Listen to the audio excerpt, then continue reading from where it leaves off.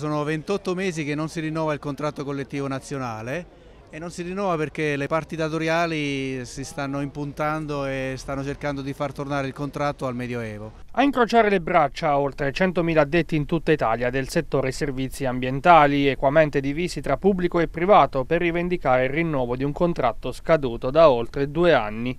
Una protesta promossa dai sindacati di categoria che puntano il dito contro le associazioni datoriali responsabili della rottura delle trattative per il rinnovo del contratto collettivo nazionale di settore. Altre richieste che fanno le parti datoriali sono che la flessibilità, la flessibilità nel lavoro vorrebbero che fossimo tutti part time con contratti al secondo livello, primo livello che sono i contratti base per noi,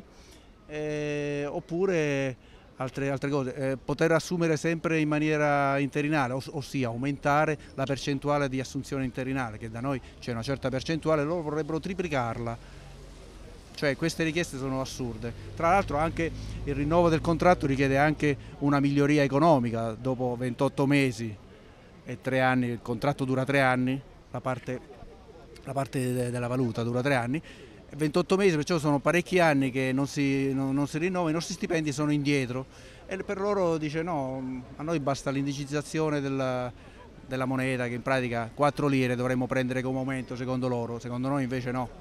Sono tutte queste cause che ci hanno spinto oggi a fare uno sciopero e a presentarci qui.